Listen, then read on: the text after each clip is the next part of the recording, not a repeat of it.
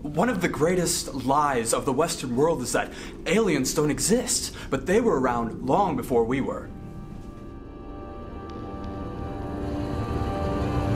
Welcome to another episode of Aliens Real Life Encounters.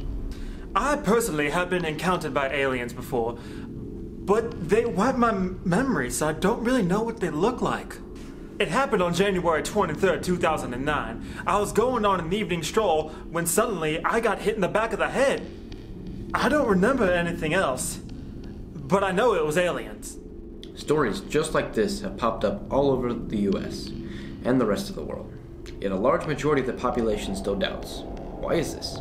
What will it take for America to wake up? I remember it like it was yesterday. I was sitting on my porch right outside New Orleans when it happened. A bright light came from the sky. This is what I remember. The ship looked like. Sadly, I never saw the aliens' faces, but I know it was real. Suddenly, I woke up in my bed like it was all a dream. As you can see, people are being attacked by our out of world friends everywhere. But why? What do they want?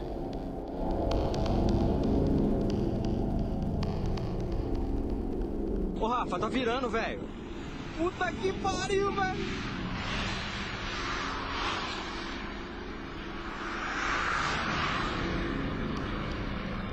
Ah, essa porra dessa bateria tá acabando, bicho. Caralho, velho, tá descendo, porra.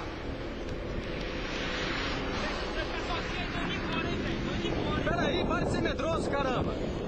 Puta que pariu, bicho.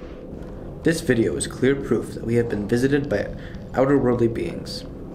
What they are doing here is what is truly scary. This final encounter is without a doubt one of the most shocking.